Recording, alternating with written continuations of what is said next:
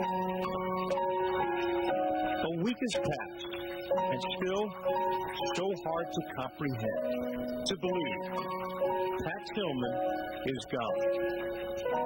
Much of the talk of his passing has centered around numbers. His GPA as a standout student athlete. The 42 that he wore as a Sun Devil. The millions of dollars that he passed up in answering the call of duty. Tonight, we propose our own number for our fallen hero. Number one. You'll only encounter one Tilly in your lifetime, and he's just one of the hundreds of men and women who have given their life in the name of freedom. It's likely Pat would have been offended by the idea of an entire show dedicated to his life. He was much too selfless for that. So tonight, we honor him by going about our business as usual. Pat sacrificed his life so that we could enjoy ours, a gift that can't ever be repaid and won't ever be forgotten.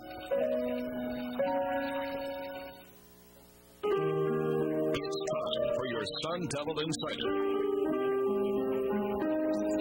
We thank you for joining us on our final Sun Devil Insider of the season. I'm Bob Costello. To know Pat Tillman was to love him. Unfortunately, I never got the chance to meet Pat, but in talking and listening to all of those who did, it would have been hard not to like him, or at the very least, respect him. Pat Tillman was a true American hero. He wasn't afraid to say what he felt and then to back it up with his deeds. He strongly believed in his family and his country. He lived for the former, he died for the latter. Our Jody Jackson has more on the life of Pat Tillman. Many kids grow up with a dream of playing football. Pat Tillman was no different, except that he had many more dreams. Born in Northern California, Pat left there after high school to play linebacker at Arizona State and major in marketing. When Pat came to ASU, he got the last football scholarship. Bruce Snyder told him his plans were to redshirt him. But Pat said he could do what he wanted, but his plans were to leave college in four years because he had other things to do with his life. And maybe that's why he had a 3.86 GPA and got his degree in three and a half years.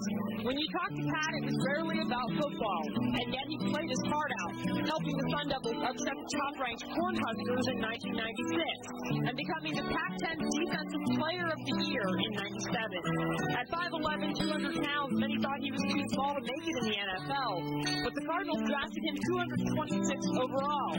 He won the starting safety job as a rookie, and in 2000, Tillman led the team with 224 tackles.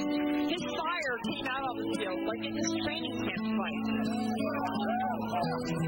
Somebody kind of said before, you know, if you're not, it's like skiing, if you're not falling, you're not trying. I mean, we're out here trying to work. Sometimes stupid things like that happen. It's, it's no big deal. I mean, that's, that's why we're out here. And in games, he went after the opponent with reckless abandon. But soon he would take his fight to a different field. The events of September 11th changed Tillman's perspective. A week after 9-11, he talked about what the American flag meant as a symbol of our freedom. As athletes, we bitch and moan every now and again about this or that. And if we ever just, you know, times like this, we stop and think about just how, not only how good we have it, but what kind of a system we live under, um, what freedoms were allowed. And that wasn't built overnight. And, and it's kind of, the flag is a symbol of all that, a symbol of, you know, my, my great grandfather was at Pearl Harbor, and a lot of my family has given up, you know, has, has gone and fought in wars, and, and I really haven't done a damn thing um, as far as laying myself on the line like that. And so I have a great deal of respect for those that have and what the flag stands for. Pat finished the 2001 season and then turned down a three-year, $3.6 million offer to continue playing football. He had a new plan. Pat married his girlfriend Marie in May of 2002 and a few days later enlisted in the Army. He became an Army Ranger and was first deployed in March of 2003 to Middle East. He came back in December to the state of Washington. The Cardinals played in Seattle on December 21st, and that weekend, Tillman and his family visited with the players and Coach Dave McGinnis. Talk about uh, something that brings everything into perspective. You know, Pat and uh, Kevin, Pat's wife, uh, Marie. It was a it was a very very rewarding and enriching uh, evening just to spend with those with those young people.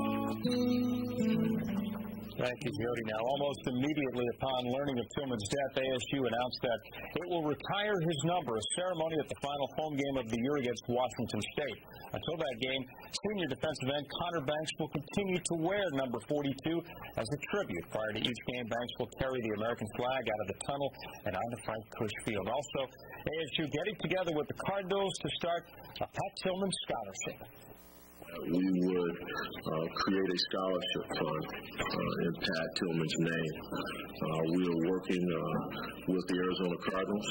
Uh, we have been working with the, the W.P. Carey School of Business to create this scholarship fund. So the recipient of the scholarship uh, will be a student in the W.P. Carey School of Business. Got to stick around when the insider continues. A little business as usual. We will take you down under. And later, a tribute to Pat Tillman, the community dearly missing him. When you see someone like him, as humble as he was compared to some of the other stars that are out there, you, you just realize what a star really is. I just wish that uh, all of the families could have a son like him to give up everything for um, for this country.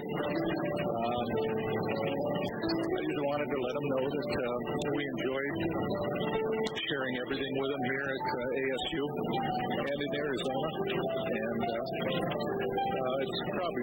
probably I think than I've ever been.